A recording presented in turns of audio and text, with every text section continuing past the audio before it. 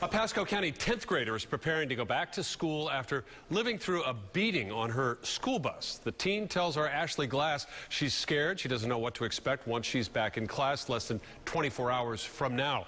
Ashley's live outside the girls' school, J.W. Mitchell High School in Trinity. Ashley, you really got a feel for this kid.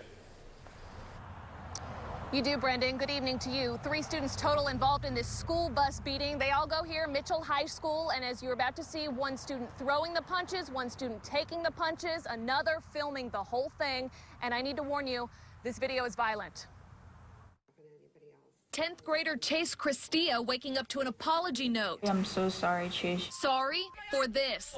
An 11th grader beating Christia on their moving school bus Friday. Oh my oh. God! Stop! She did stop. We count 11 blows later. This video, as it appears, shared on a Facebook page. Nobody was doing anything, so she was just like hitting me, and it just felt like it was on and on and on. Christia still wearing hospital wristbands, telling us she was treated for bruising and that the whole thing started because she stood up for a friend. I'll be able to forgive her later on but not now. For now, Christia's mother has questions like why didn't the bus driver help? I don't think he should be driving the bus. And what's next for the 11th grader doing the punching and the student filming? I would like to see these girls removed from her school because I'm scared for her. The school principal telling us both are suspended for at least 10 days. The Pasco sheriff saying both now face misdemeanor charges.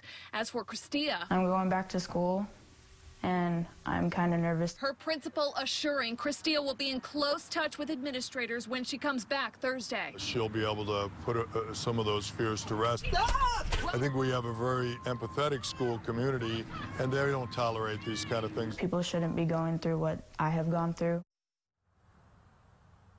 In another terrible twist to this story, deputies telling me late tonight the high school girl seen throwing the punches in that video is in the hospital right now. Baker acted after making threats to harm herself. The school district also telling me late tonight that the school bus driver involved faces no disciplinary action for now, although the school district stresses that they are still investigating, working alongside the sheriff's office, trying to get to the bottom of all of the day's events that led up to that school bus beating. We are live in Trinity tonight. Ashley Glass, ABC Action News.